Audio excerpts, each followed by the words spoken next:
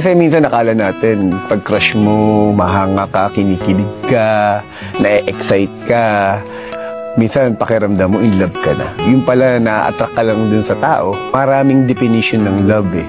Ako, para sa akin, pag sinabi kong in love ako dun sa isang tao, ang basihan ko is yung una, ano yung kaya kong i-risk sa buhay ko para sa kanya.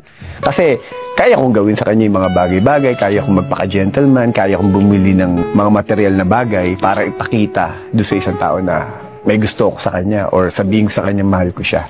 Pero para ma-define ko na mahal ko na tong taon to, kailangan handa akong mag-take ng risk kung ano man yung kung ano man yung ugali niya, kung ano man yung pagkatao niya, pamilya niya, o ano man sasapitin ng ng magiging relasyon namin, kailangan ready ako. Kasi pag sinabi ko ng sarili ko na ready na ako, whatever it takes, kung ano man yung kakahantungan nito, dun mo masasabi na mahal mo na isang tao.